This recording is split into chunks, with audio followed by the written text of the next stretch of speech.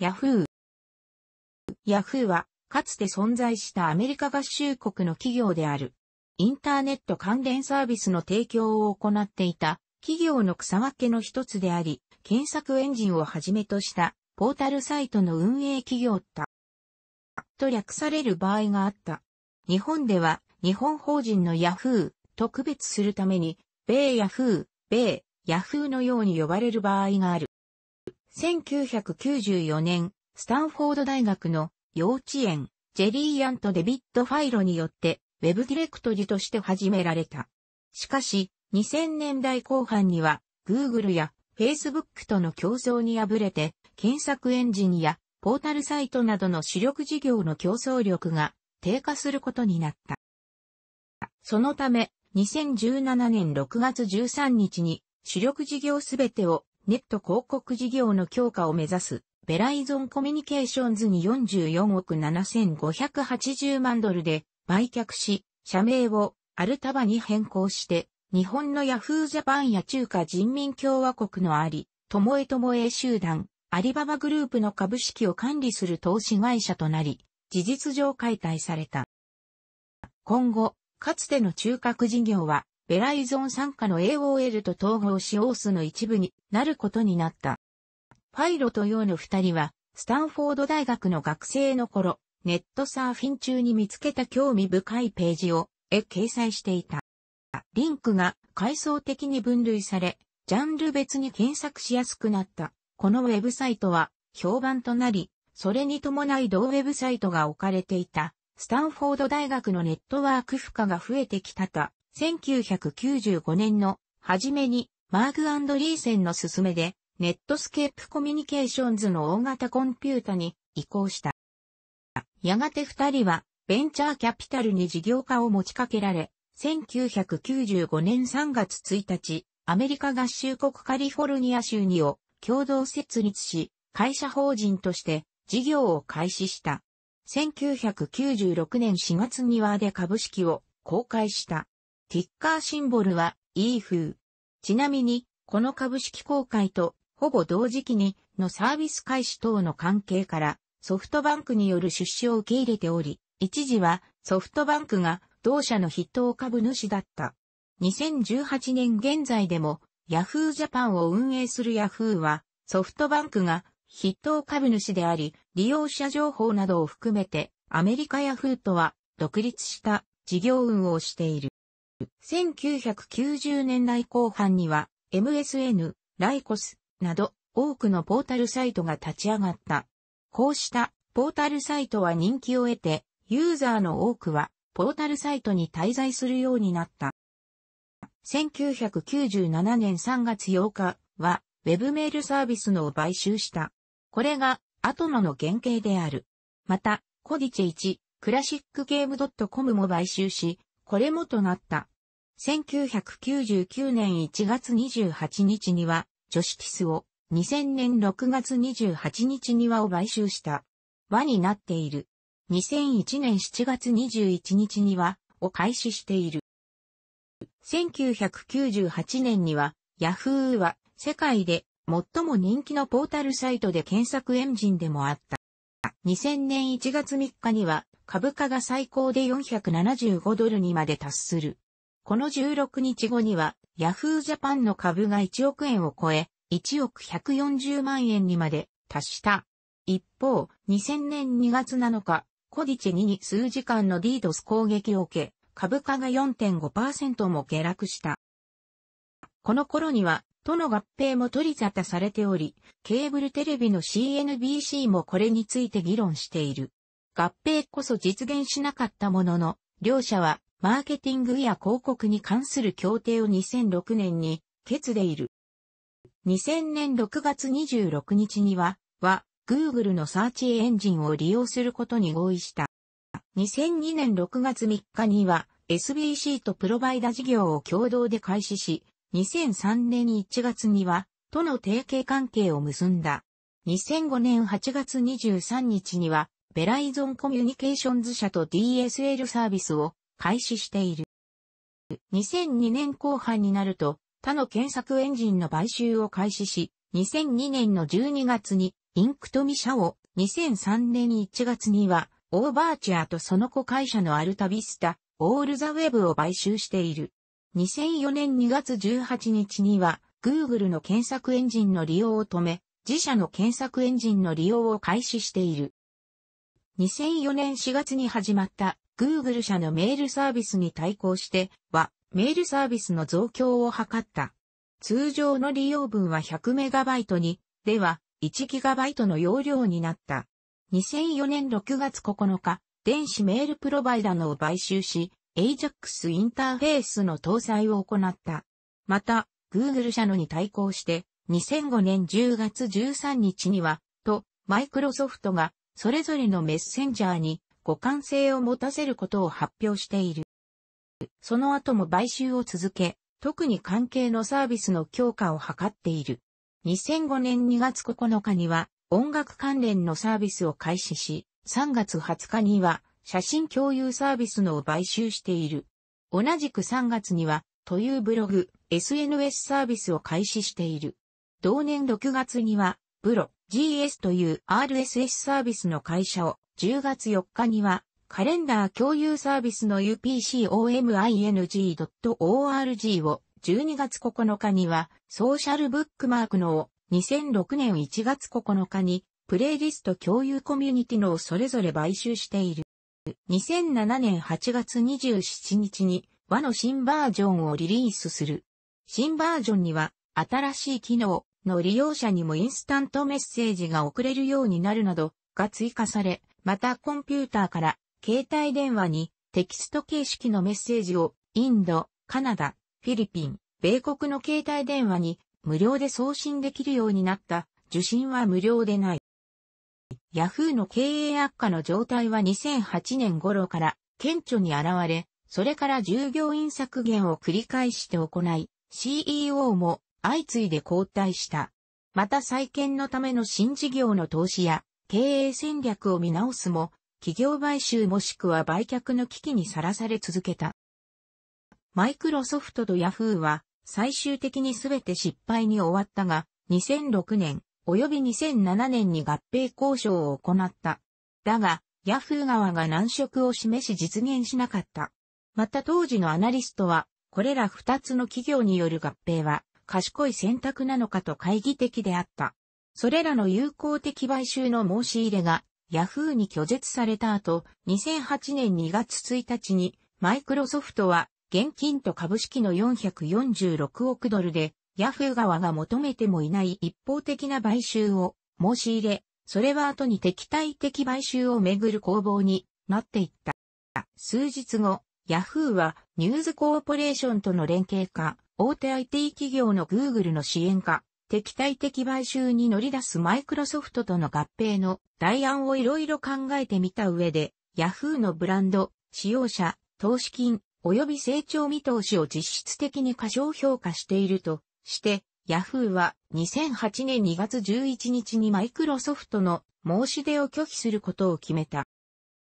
2008年2月22日、デトロイトの2つの年金企業の申し立てによると、好条件になるかもしれないマイクロソフトの買収提案に反対し、価値破壊的な第三者の取引を追求するということは株主に対して義務に違反するとヤフーと取締役会を訴えた。3月初旬、Google の CEO のエリック・シュミットが、マイクロソフトがヤフー買収に成功した場合のことを心配していると述べたという記事が出た。それによると同氏が合併はインターネットのオープン性を損なうことになり、インターネットを痛めつける可能性があるという考えを持っているということである。4月5日に、マイクロソフトの CEO であるスティーブ・バルマーは、もしも3週間のうちに、ヤフーが取引を受け入れなければ、マイクロソフトは合併協議、敵対的買収が進むことを期待して、新しい取締役を選出させるために直接、株主に近づくだろうと述べた。そして、ヤフーの取締役会に結論を迫る書簡を送った。4月7日のヤフーの応答では、ヤフーとしては合併を反対しないとの姿勢で、より良いオファーを望んでいた。また、マイクロソフトの積極的なアプローチは、ヤフーとの関係と友好的合併の可能性を悪化させたと述べた。同日、ヤフーは従来の446億ドルのオファーは受け入れられないと述べた。これに続いてヤフーと AOL がマイクロソフトとの合併の代案として事業統合の交渉していると報道が出た。2008年5月3日、マイクロソフトが買収を撤回した。ヤフーはスティーブ・バルマーとジェリー・アンの書簡の中のマイクロソフトの提示額一株あたり33ドルの申し出を高めるために50億ドル、多い、一株あたり37ドルを要求していた。2008年6月12日に、ヤフーはマイクロソフトとのすべての買収協議が終了したと声明を出した。また同日の午後、ヤフーは Google と検索広告についての提携を発表した。しかし、4ヶ月後の11月5日に提携合意が解消されたことが発表された。ヤフーの判断に納得のいかない億万長者の投資家、カール・アイカーンは、マイクロソフトと交渉のために接近し、理不尽さを感じるヤフーの現在の経営陣を呼び出して、経営陣を刷新する構えを見た。2008年7月21日に、ヤフーは新たな取締役にアイカーンと2名の仲間を指名して送り込むことで合意して和解した。その後、アイカーンは2009年10月23日に、アクティビスト、物言う株主を指名役として置いておく必要はないと述べ、辞任している。2008年11月20日、一連の騒動からほぼ10ヶ月経って、ヤフーの株価、イーフーは、マイクロソフトの提示額が、1株あたり33ドルだったのに対し、52週安値、過去52週の中で低い値の1株あたり8.94ドルで取引されるまでに加工してしまった。2008年11月30日、マイクロソフトがヤフーの検索ビジネスを200億ドルで買収すると報道が出た。だが報道のすぐ後に関係者は否定した。2009年7月29日、マイクロソフトがヤフーの検索技術について最大限利用でき、ヤフーはマイクロソフトのプロジェクトの検索エンジンを今後使用する10年間の契約が発表された。2008年1月29日に Yahoo は同社の厳しく苦しい経営状況では検索エンジン業界のリーダーである Google 社と相乗的に市場競争ができないとして全従業員に14,300人のうち7%である1000人をレイオフすると発表した。ヤフーは急成長が見込まれ会社の拡大が期待できる分野に経営資源を集中することにしている。2008年2月12日にマサチューセッツ州ケンブリッジのオンライン動画プラットフォームプロバイダーの1億6000万ドルで買収。2008年11月17日に創業者のジェディ・アンは CEO を辞任し、以前の役職であるチーフに就任。2008年12月10日には、業績悪化に伴い、世界で1520人の従業員のレイオフを始めた。2009年1月には、ジェリー・アンの後任の CEO に就任したキャロル・バーツの指揮の下で経営立て直しを試みることになった。7月には、このウェブサイトにマイクロソフトの検索技術と検索広告プラットフォーム、アドセンターを使うことでマイクロソフトとは提携に合意した。2009年7月21日には新しいバージョンのトップページを公開した。トップページ左側のカスタマイズ可能なのお気に入りに該当する2話のサイト上で提供されているサービスのみならず、ネットフリックス、フェイスブック、ツイッターなどの他社のウェブサイトのサービスを選んで配置できるように、その当時はなっていた。2011年9月6日、バーツは突如、取締役会長ロイ・ジェイ・ボストックの電話で解任された。一方、会社の全体、または一部事業の売却を検討しているとされた。売却先として AOL、マイクロソフト、アリババ等が候補に上がっているとされた。しばらくの間は、ティム・モース CFO、最高財務責任者が暫定的 CEO を務めていた。2012年1月4日、ペイパル社長のスコット・トンプソンが CEO に指名された。同年4月には全従業員の14%にあたる約2000人のレイオフを発表するなど再建に乗り出した。2012年末の完了後、ヤフーはレイオフで年間3億7500万ドルが節減されたと発表した。3月にはヤフーは Facebook に特許を侵害されたと提訴した。4月には Facebook 側から逆提訴をされている。2012年4月、スコット・トンプソンは、ヤフーは顧客最優先であるべきだという彼の見解を何度も繰り返した電子メールを従業員のもとに送っていた。トンプソンにとって顧客とはユーザーと広告主の両方だと定義していた。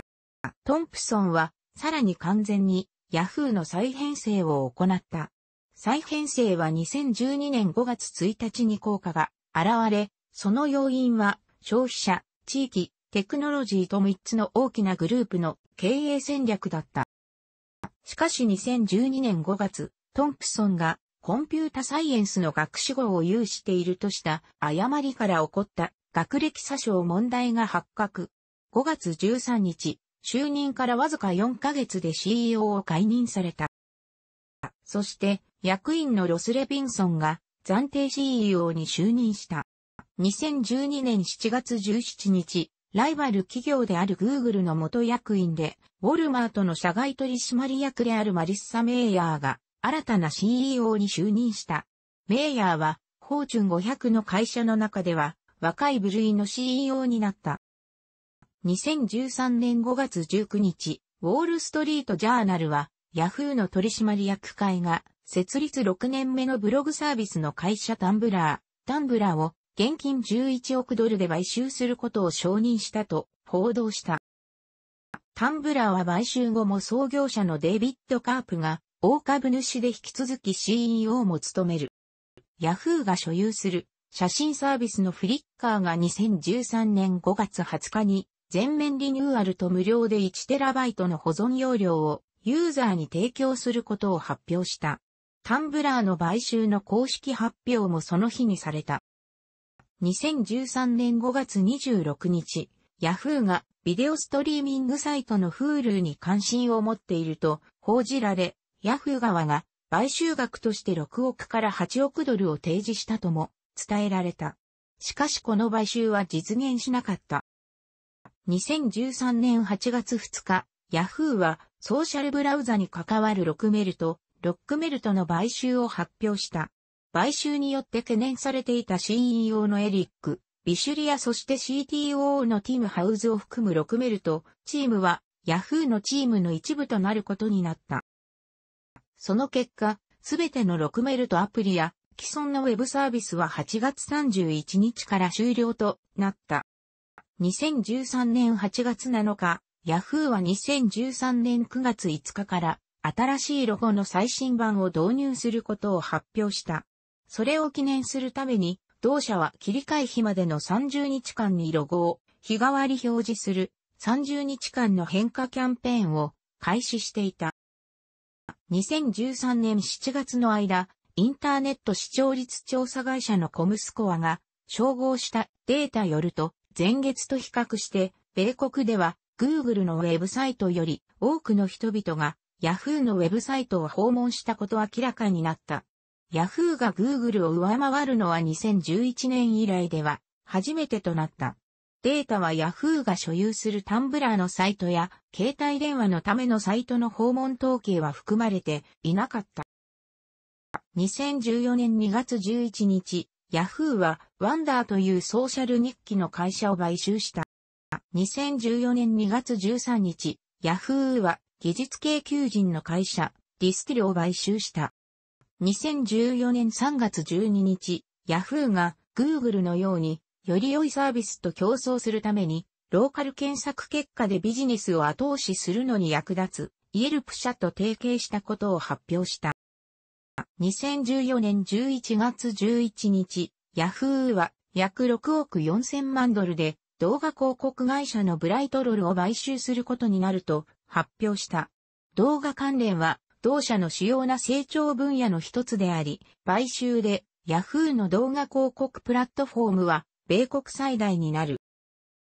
2014年11月21日にヤフーがクーライリスを買収したことが発表された。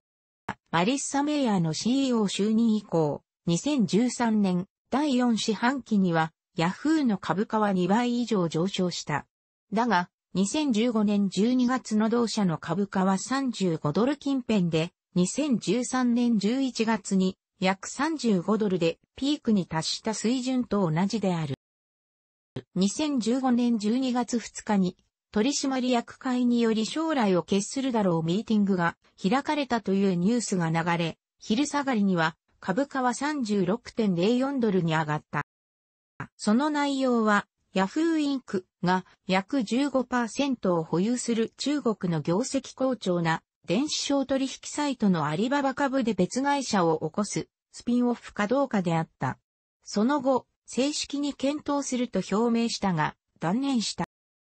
また、苦戦のインターネット検索や電子メール事業などの見売りを検討するのではないかという観測が出ていた。事業の売却先候補としては、ベライゾン、IAC、インタラクティブコープ、ソフトバンク等が上がっていた。メイヤーは就任後に様々なアクションを主導し、株価を上げるなどの成果を得たが、就任時点で同業他社に比べて大きく出遅れていたスマートフォンなどのモバイル分野では業績を上げられなかった。また、成長分野とされた映像コンテンツ事業で4200万ドルの損失を出し、それらの分野が結果的に必ずしも有益でなかったことを証明する形となった。ヤフーは物言う株主から会社、中核事業の売却と大規模な人員削減及びメイヤーの CEO の退任を要求されるようになった。2016年2月2日、ヤフーは従業員の15%削減及び世界の5つの拠点の閉鎖などを含む経営計画を発表するなどヤフーインクは最終局面であった。2016年7月25日、米通信大手ベライゾンコミュニケーションズがヤフーのポータルサイトニュース、電子メールサービス等ほぼすべての事業を約48億3000万ドルで買収することで合意。事業部門は今後ベライゾン参加の AOL に統合されることになった。買収時点でヤフーの時価総額の大部分を占めるあり、ともえともえ集団とヤフージャパンの保有株式はヤフーに残り、ヤフーは買収完了後、アルターバに社名を変更して、投資会社として生まれ変わり、刷新された経営陣の下で上場を継続する方針が示された。これにより、1994年に創業し、インターネット黎明期から名を馳せたヤフーは、単独の事業会社としての歴史に幕を下ろすこととなった。2016年9月22日、ヤフーは2014年後半にハッカーによって少なくとも5億人のユーザーアカウント情報が窃盗されていたと発表した。2017年2月21日、ユーザー情報流出事件を受けて買収金額を約44億8000万ドルに引き下げ、訴訟費用は両社で分担することで合意と発表した。2017年6月13日、買収手続きが完了。旧ヤフーの事業部門は AOL と共に新会社オースに移管された。メイヤー自身も CEO の辞任を発表した。2017年6月16日、ベライゾンコミュニケーションズによって買収されなかったヤフーインクの残りの部門はアルターバインク、アルタバへと改名。アメリカ証券取引委員会のウェブサイトによると、新会社は、非多角のクローズドエンド型投資信託会社として分類されている。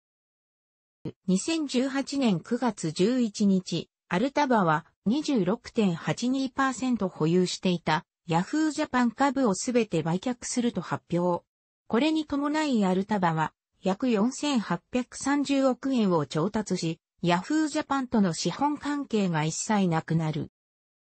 ヤフーの名前の由来は、英語の、さらにもう一つの階層的で、おせっかいな信託の略だと言われている。また、ファイロとヤンは自分たちのことをならず者だと考えているので、そやな人という意味がある。ガリバー旅行記に登場する野獣の名前が由来という言葉を選んだと主張している。さらに簡単符がついていることに関しては、ヤッホー、や、を意味する英語の感動詞とかけているとも考えられる。という検索エンジンの運用と検索サービスの提供という図式は、をはじめとする数社によって始められ、かつ確立された。このような形のウェブサイトをポータルサイト、入り口と呼ぶようになった。なお、アレクサが提供している yahoo.com のトラフィック統計を見ると、アクセス全体に占めるコディチェ3検索サービスのアクセスは全体の10.5%ほどで、Yahoo Japan では18%ほどとなっている。2010年1月現在。近年の業績悪化に伴い、2010年には自社開発の検索エンジンからマイクロソフトのに検索エンジンを切り替える方針を明らかにしており、2010年8月より順次、各国語版で切り替えを開始している。ただし Yahoo Japan は Bing ではなく Google を採用する方針。Yahoo では文書、画像、ビデオ、音声に登録されたウェブサイトの目録、ローカル、ニュース、買い物サービスで分類して検索するシステムがある。2は、メインページ中央やや上部に、下のようなが所有するサービスサイトがある。サービス名に関するは、省略形ので表されることがある。丸括弧、内にの対応するサービスを明記する、など。ほとんどの国、地域の Yahoo は、国、地域の CCTLD、yahoo.com のドメインを使用しているが、現地法人がある日本では、jp.yahoo.com ではなく、yahoo.co.jp を使用している。また、オーストリアやスイスは CCTLD、search.yahoo.com のドメインがトップページとなっているほか、マレーシアは CCTLD の前が MyYahoo とバッティングするため、マレーシア .yahoo.com が使われる。台湾の Yahoo キマは地域のローカル検索事業者との合併に伴う名称となった結果、サイト名から地名が除かれている。また、オーストラリアの Yahoo7 は大手放送事業者セブンネットワークとの合弁に伴い、2006年1月よりサイト名を変更した。2013年以降、ヨーロッパ地域を中心に、ポータルサイトサービス廃止国が増えている。これらの国では、電子メールサービス、ヤフーメールは引き続き提供されている。楽しくご覧になりましたら、購読と良いです。クリックしてください。